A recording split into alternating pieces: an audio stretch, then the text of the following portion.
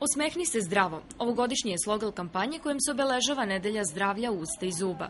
Statistika pokazuje da čak 45% dece u Šumadiji nema zdrave zube, a samo 8,5% starih građana ima očuvane zube. Svakog maja meseca preko ovakvih programa, preko flajera, preko druženja obdaništima u školama, u ustanovama, prisutni smo i tamo gde nas pozovu. Rekao sam se jednim od osnovnim ciljima, to je da ukažemo na veoma važno i bitno održavanje, redno održavanje oralnog zdravlja.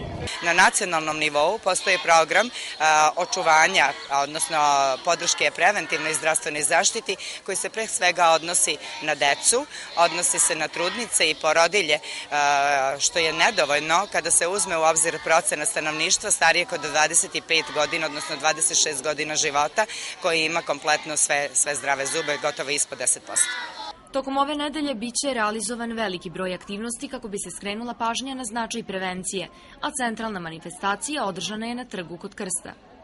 Deci iz ustanove Nada Naumović i kolektivnog centra Trmbas, predškolskog i školskog uzrasta pregledani su zubi, podeljene paste i jabuke kako bi im se ukazalo na značaj zdrave ishrane i zdravih zuba.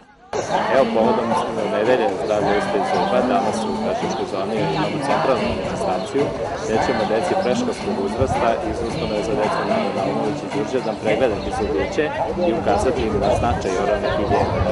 Koliko je važno da imaju zdrave zubiće kako bi kao mladi imali zdravi organizam.